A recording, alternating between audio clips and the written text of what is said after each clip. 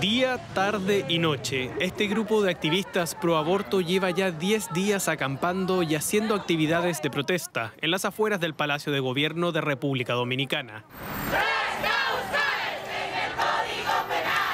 Mujeres y hombres buscan persuadir a los diputados para que incluyan una modificación al Código Penal para que el aborto sea legal en tres causales.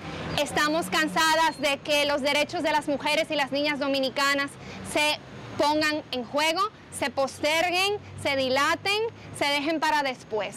Entonces decidimos que este es el momento, que ya no se puede esperar más. En República Dominicana las mujeres pueden ir a prisión hasta por dos años en caso de que aborten y las penas llegan hasta 20 años de cárcel para quienes practiquen el procedimiento. Pero también hay grupos que están en contra del aborto. Y que no quieren que otras aborten, señor.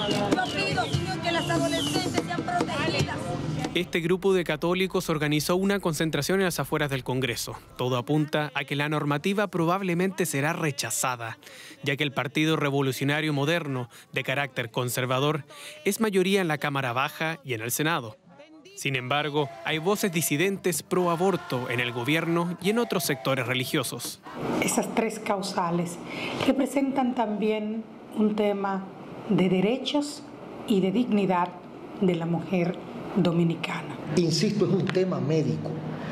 Si le preguntan a cualquiera en la calle, va a, con, va a contestar de acuerdo a sus convicciones religiosas. ¿Se debe esto o se debe aquello?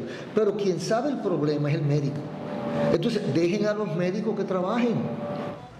En el país se practican casi 90.000 abortos clandestinos, según cifras de la Asociación de Hospitales Privados, la mayoría en condiciones insalubres.